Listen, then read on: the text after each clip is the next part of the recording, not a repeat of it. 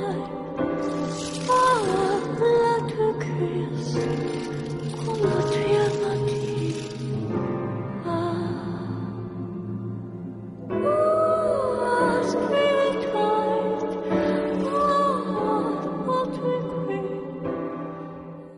Clover is an experimental shoujo drama from the legendary manga collective Clamp. Published during the late 90s, Clover tells the story of Kazuhiko, a Black Ops agent who's tasked with escorting Sue, an angel hooker or something, across the futuristic barren wasteland. Maybe it's a wasteland it's definitely barren, but Clover isn't a manga concerned about plot. It's more about atmosphere and storytelling. On hiatus for over 20 years now, this forgotten classic is the perfect Clamp artifact from before they took over the world. It combines all of the tense, dark, and desolate themes of their early work with the passion, complex relationships, and heart wrenching pain of their 21st century hits. Reading Clover is truly an experience every otaku should seek. As mentioned, the plot of Clover isn't great the first two volumes cover Sue and Kazuhiko's journey,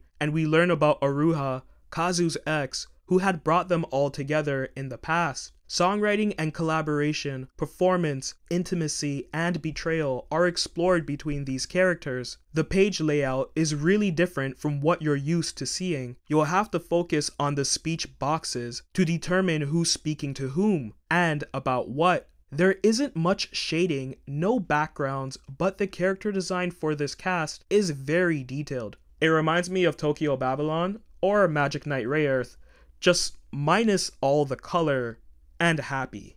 The dialogue is straightforward, it's just how Clamp illustrated this manga. Your mind has to reset itself temporarily when reading Clover because it doesn't read like a traditional comic or manga at all. Clamp hasn't really explored this style that much since though. Holic has a bit of that moody gothic aesthetic minus the cyberpunk, but it's not really that comparable to their other works. The final two volumes of Clover actually offer some semblance of a coherent plot. They explore supporting characters' connections with each other and reveal motives and backstory. While still depressive, it isn't as wild and sensory inducing as the earlier volumes and unfortunately, it's unlikely that we'll ever see Clover completed. Clamp has a horrible habit of dropping their less successful stories and never returning to them. They just put them on hiatus. But I don't understand their approach to hiatuses.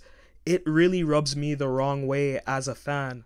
But if you're a fan of the late 90s cybergoth vibe, or if you love Clamp's work in general, I'd say grab this. There's an affordable collector's edition you can buy online that combines all four volumes, adds a bunch of color pages, and is high quality. This isn't essential reading, but it is unique. I'm giving Clover a 5.